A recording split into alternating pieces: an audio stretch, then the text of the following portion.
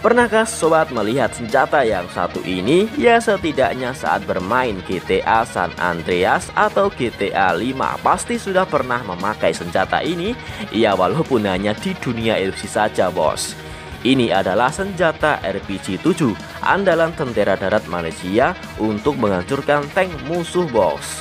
RPG-7 adalah granat berpeluncur roket anti-tank yang diluncurkan dari pundak manusia yang banyak diproduksi alias laris manis di pasaran yang merupakan rancangan Uni Soviet bos.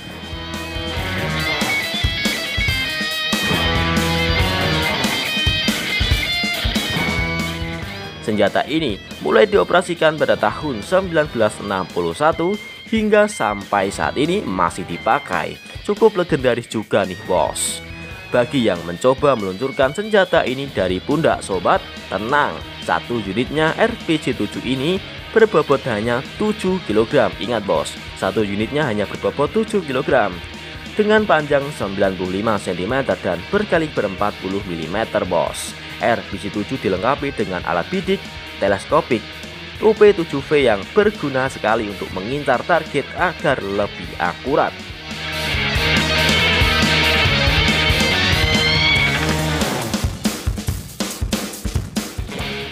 Hebatnya saat ditembakkan peluru RPG-7 ini sanggup melesat hingga kecepatan 115 meter per detik dan sanggup mencapai sasaran pada jarak 920 meter dan meledakkan diri bos.